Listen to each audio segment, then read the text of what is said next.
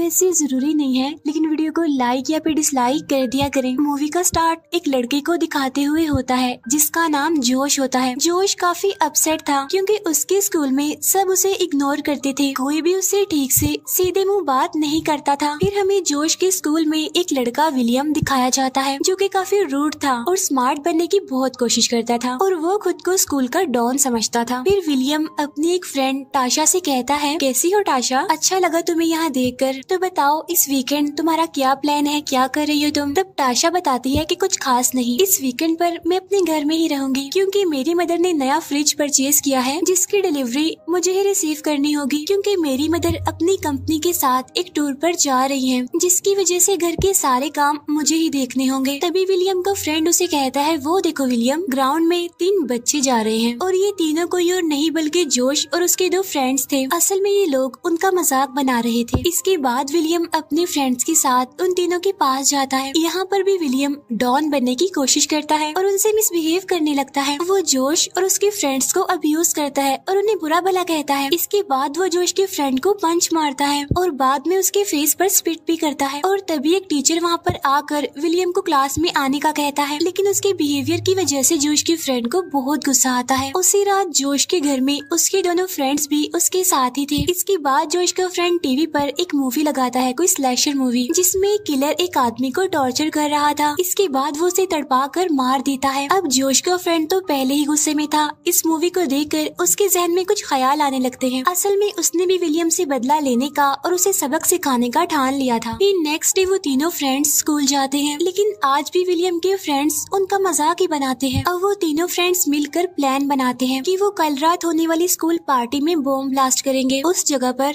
जहाँ पर विलियम और उसके फ्रेंड्स होंगे। अब इस तरह से तो बाकी लोगों की भी जान जा सकती थी, लेकिन उन्हें किसी की कोई परवाह नहीं थी। वो तो बस विलियम से बदला लेना चाहते थे, उसे सबक सिखाना चाहते थे। फिर चाहे इसका अंजाम कुछ भी हो, फिर नेक्स्ट डे जोश का फ्रेंड उसे उसके घर पर ड्रॉप करने जा रहा था। लेकिन तभी वो रास्ते में ही गाड़ी रोक लेता है और जोश को कहता है, वो देखो जोश, तुम्हारी नेबर टाशा के घर एक ट्रक आया है और जरा उस ट्रक पर लगे स्टिकर को तो देखो। उस पर एक किलर के बारे में लिखा हुआ है। असल में ये किलर बहुत खतरनाक है और इसके पास बहुत सारी गन्स भी हैं। और अगर हम इस किलर की हेल्प लें तो हम बॉम्ब ब्लास्ट किए बगैर ही विलियम से अपना बदला ले सकते हैं, उसे सबक सिखा सकते हैं। चलो अब जल्दी करो और ट्रक के नंबर को नोट करो। तब ये सुनकर जोश ऐसा ही करता है और वो उस नंबर को जल्दी से नोट कर लेता है। इसके बाद वो तीनों दोस्त मिलकर उस नंबर की मदद से किलर का पता लगवाते हैं। यहाँ पर जोश का फ्रेंड कहता है कि मैं और जोश उस किलर के पास जाएँगे और उसे हम विलियम के बारे में सब कुछ बताकर उससे हेल्प मांगेंगे और अगर वो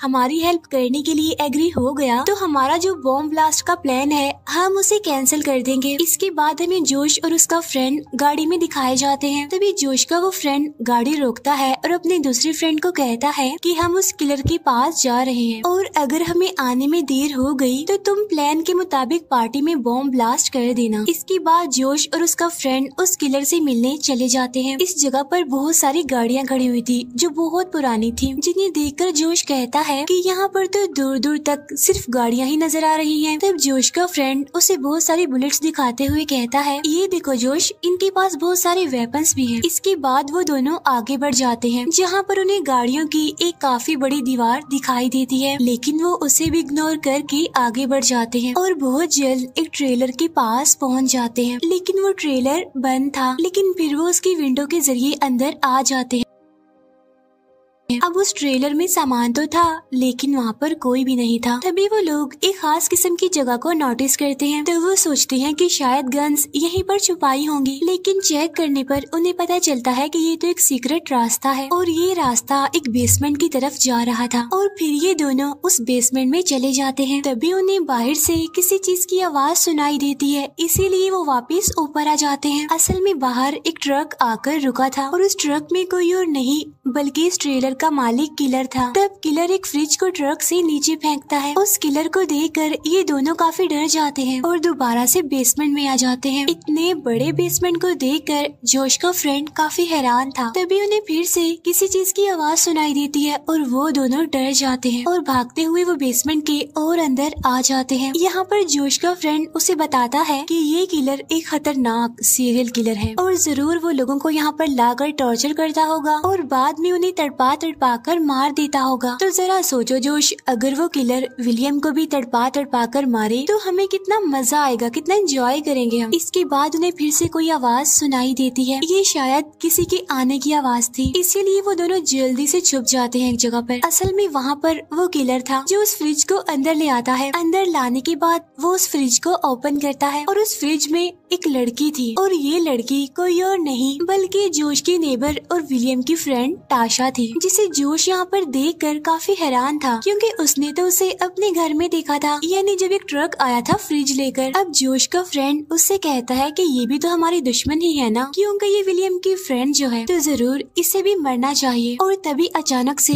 कोई जोश के फ्रेंड पर अटैक कर देता है। यहाँ पर जोश बिल्कुल ठीक टाइम पर पीछे होकर छुप जाता है। असल में उसके फ्रेंड पर अटैक किलर ने किया था, और वो जोश को देख नहीं पाता। और अब किलर के काम का टाइम हो गया था, और उसका काम क्या था ये तो आप अभी देख ही लेंगे। वो किलर टाशा को लिटाता है और फिर एक शैतान की वर्शिप करने लगता है। यानी वो शैतान को याद करने लगता है। इसके बाद वो अपने खास किस्म के कपड़े पहनता है। फेस पर अजीब सा मास्क लगा लेता है और अब वो बिल्कुल किसी बीस्ट की तरह लग रहा था। असल में ये किलर एक साइको सीरियल किलर था, जो कि कैनेबल भी था और ये अपनी विक्टिम्स को मारकर खाता था। और अब वो किलर अपने टूल्स लेकर जोश के फ्रेंड के पास आता है, जिसकी मदद से वो उसकी आँखों के ऊपर का मांस काटने लगता है। और फिर वो उस मांस को खा लेता है। ऐसा करने के बाद वो जोश के फ्रेंड को शूट करके मार देता है। अब अपने बेस्ट फ्रेंड को खो देने की वजह से जोश काफ़ी दुखी था, लेकिन साथ साथ वो काफ़ी डरा हुआ भी था। तभी अचानक से ऊपर से किसी चीज़ की आवाज़ आती है और किलर उसे चेक करने के लिए जाता है। तब मौके का फ़ायदा उठाकर जोश टाशा के पास आता है। टाशा उससे हेल्प मांग रही होती है। तब जोश उसे कहता है कि परेशान मत हो। मैं बहुत जल्द तुम्हें यहाँ से आज़ाद करवा कर ले जाऊँगा। और तभी कदमों की आवाज़ सुनकर जोश फिर से छुप जाता है। इसके बाद किलर वहाँ पर एक और लड़की की डेड बॉडी को लेकर आता है।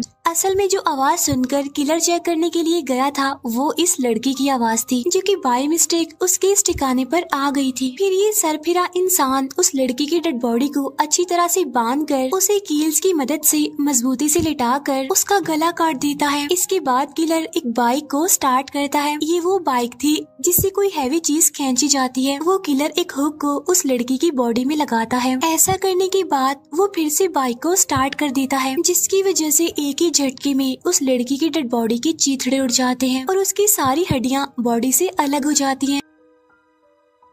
अब यहाँ तक हमें ये तो पता चल गया था कि ये साइको सीरियल किलर काफ़ी जालिम और बेरहम है, जो कि बोनलेस मीट खाने का शौकीन था। क्योंकि वो कैनेबल था तो वो उसका फेवरेट था। इसके बाद किलर टीवी ऑन करके उसे देखने लगता है, लेकिन फिर देखते ही देखते उस किलर की आँख लग जाती है। तब किलर को सोता हुआ देख कर जोश आहिस्ता आहिस्ता करके टाशा के पास आता है और वो टाशा को आज़ाद करने में भी कामयाब हो जाता है। फिर ये दोनों वहाँ से निकलने की कोशिश करते हैं, लेकिन अनलकीली बाहर जाने के सारे रास्ते बंद थे। यहाँ पर टाशा जोश को बताती है कि जो ड्राइवर मेरे घर फ्रिज को डिलीवर करने आया था, वो कोई और नहीं बल्कि ये सीरियल किलर था, जिसने चालाकी से मुझे बेहोश कर दिया। फिर कुछ टाइम बाद किसी चीज़ की आवाज़ सुनकर उस किलर की आँख खुल जाती है और जब वो टाशा को चेक करने आता है तो उसे उसकी जगह पर ना पाकर बहुत गुस्सा होता है। दूसरी तरफ़ जोश और टाशा भी अभी तक इसी बेसमेंट में ही थे, जो यहाँ से बाहर निकलने की काफ़ी कोशिश कर रहे थे, लेकिन अनलकीली हर बार नाकाम हो जाते थे। अब वो दोनों एक ऐसी जगह पर आ जाते हैं जहाँ उनके सामने बहुत सारी डेड बॉडीज पड़ी हुई थी। तब वो दोनों चुपचाप आहिस्ता आहिस्ता करके आगे बढ़ने लगते हैं। लेकिन इन सबसे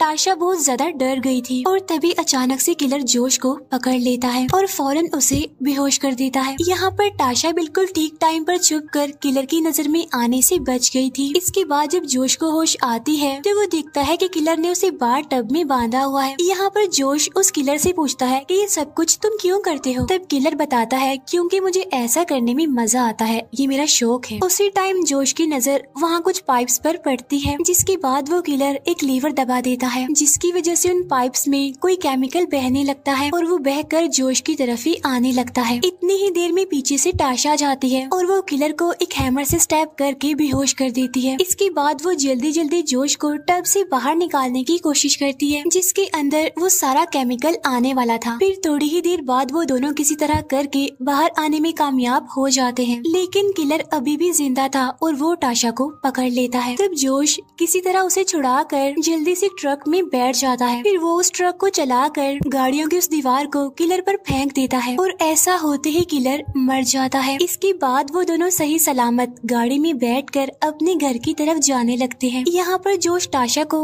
अपने फ्रेंड्स के प्लान के बारे में बताता है कि आज मेरा दूसरा फ्रेंड विलियम और उसके फ्रेंड्स को बॉम्ब ब्लास्ट करके उड़ाने वाला है। तभी बात सुनकर टाशा को बहुत दुख होता है। उधर जोश का फ्रेंड भी अपने प्लान के अकॉर्डिंग पार्टी में पहुँच गया था। वो भी पूरी तैयारी के साथ बॉम्ब ब्लास्ट करने के लिए। और तभी जोश वहाँ पर आकर उसे ऐसा करने से रोक देता है और उसे अपने दूसरे फ्रेंड की मौत के बारे में बताता है। अपने बेस्ट फ्रेंड की मौत का सुनकर जोश के फ्रेंड को काफ़ी दुख होता है। इसीलिए वो खुद को शूट करके मार देता है। अब उन तीनों फ्रेंड्स में सिर्फ़ जोश ही ज़िंदा बचा था, जिसे टाशा अब पसंद करने लगी थी। और इसी के साथ ही ये मूवी यहीं पर एंड हो जाती